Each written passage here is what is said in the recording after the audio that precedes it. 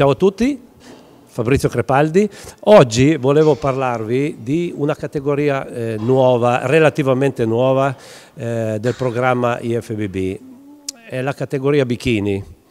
Eh, e la ragazza che avete appena visto, a mio parere, è un po' il prototipo di questa categoria. Io l'ho conosciuta un paio di mesi fa, perché il suo allenatore, poi vedrete, faccia, eh, mi aveva chiesto di magari di dargli un'occhiata per valutare un po' insieme le, le potenzialità eh, per un eventuale esordio agonistico. A nostro parere le potenzialità sono notevoli, eh? di conseguenza mh, dovrebbe eh, esordire fra un mesetto eh, nel Grand Prix, dove? Vicenza? Torino. Tor ah, l'Ercole Farnese eh, di Torino. Adesso mh, ve la presento. Eh? Ciao. Tu sei? Io sono Marisley Cardenas. Quanti anni hai? 28. Pensavo molto di meno. Sì, 28. Ne avevi detto 21? No, no 28. 28. Magari. Ok. okay. Magari. Tu eh, ti alleni da quanto tempo? Per questa gara qui? No, in generale. Da, mm. Vai in palestra da quanto tempo? Un paio di anni, due e mezzo.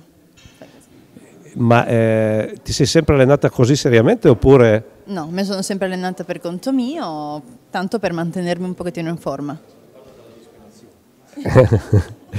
ecco, tu hai conosciuto Roby quando?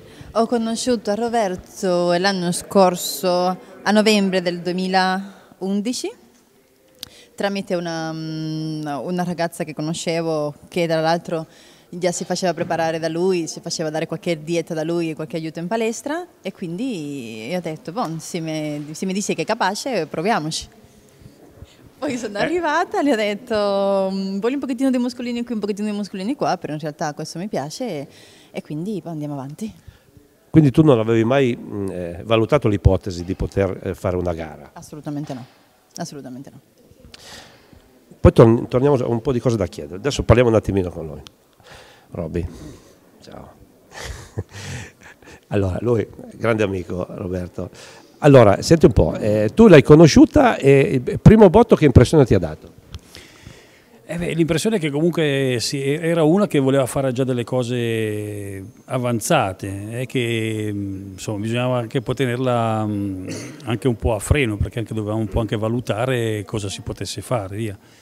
Diciamo che poi l'ho vista bene, mi, mi, è venuta subito la pelle d'oca come, come tutti gli appassionati ne abbiamo parlato e lei mi ha confessato anche lei che era sempre un, stato un, quasi un suo desiderio fare qualcosa.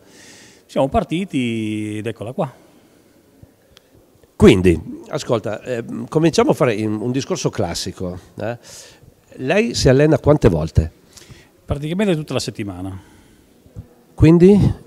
Eh, lunedì, martedì, mercoledì, giovedì, sabato e qualche volta anche la domenica un po' si arrangia lei a casa con quello che può e poi fa va in bicicletta, insomma va a correre, uno iperattiva.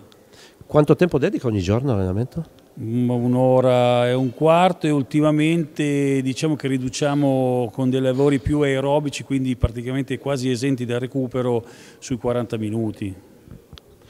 Ascoltate questi discorsi, eh. a chi interessa mettersi in forma sono cose interessanti, eh. non c'è eh, solo da guardare gli esercizi, mm, ascoltate questi ragionamenti perché mm, è una cosa mm, seria ragazzi, ascoltate bene e aprite le orecchie. Allora, adesso fra un mesetto c'è la gara, quindi eh, parliamo il discorso cardine è un po' sull'allenamento delle donne. Allora, tu come la, la metti eh, con l'attività aerobica con lei?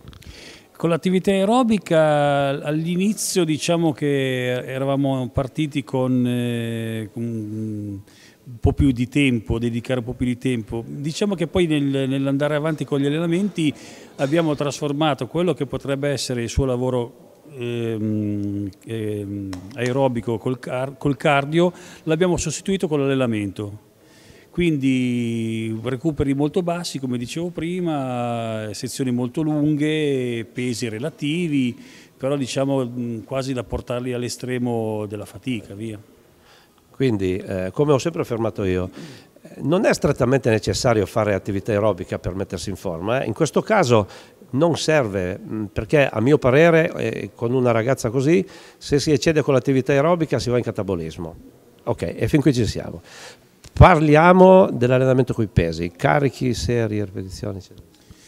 Eh, carichi, diciamo che sui, sui, pesi ci stiamo molto tranquilli perché tanto mm, per le donne che fanno questa, questa attività in quella categoria non necessita di grosse masse muscolari, quindi su pesi relativi a quello che lei deve fare.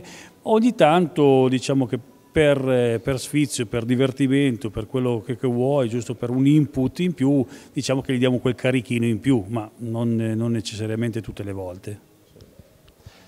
Su quale zona del corpo eh, stai lavorando di più? Perché la reputi la zona mh, più carente?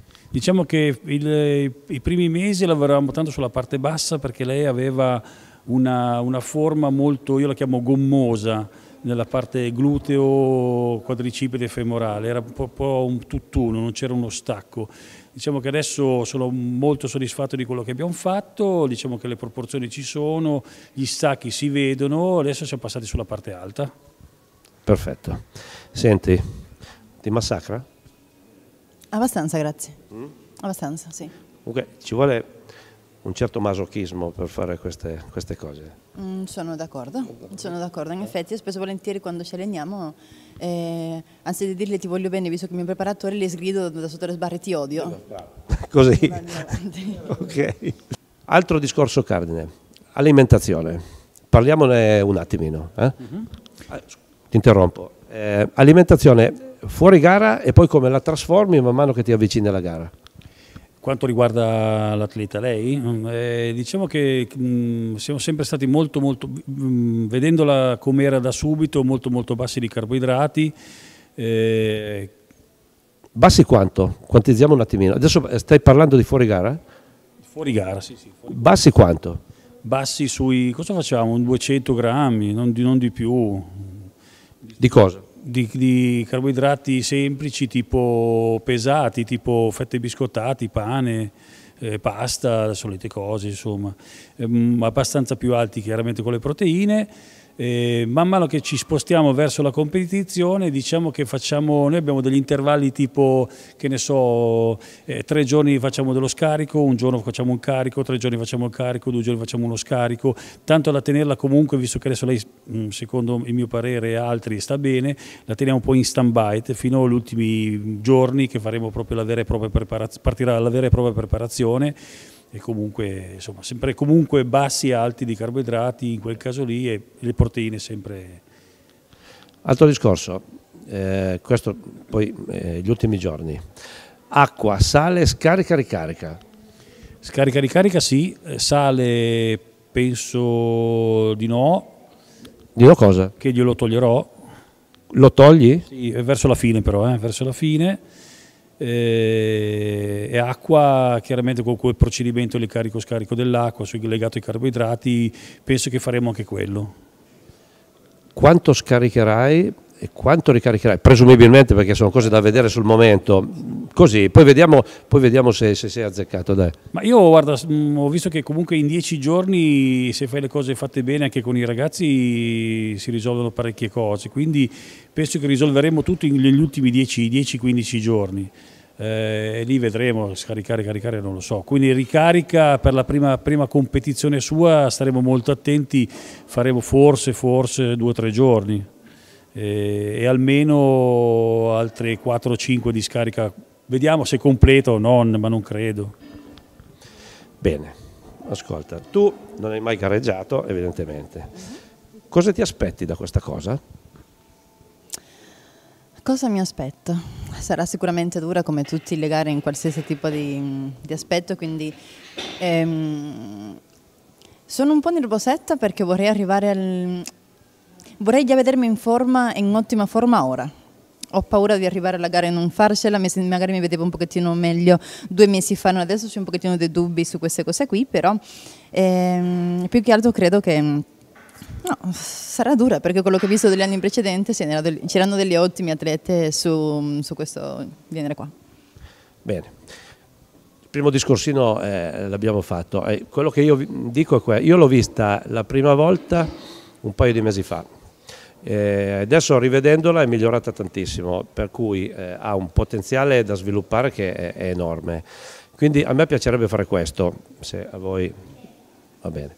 Eh, a distanza di, poi, poi, ne parliamo, la rivediamo e vediamo eh, le tappe di questo miglioramento. Eh, la rivediamo eh, sicuramente dopo, dopo, le gare, quindi verso giugno. Vediamo come si è trasformata. Dopodiché magari periodicamente eh, vediamo così, secondo me è interessante vedere come si evolve un atleta che parte da zero, perché se fosse un atleta già avanzato i miglioramenti sono minimi, ma col potenziale che ha e col, con la preparazione ancora bassa che ha sarebbe interessante rivederla. Eh. Per intanto chiudiamo qua. Eh. Ci vediamo prossimamente da Marisley Cardenas. Ambrosio Roberto. Fabrizio. 就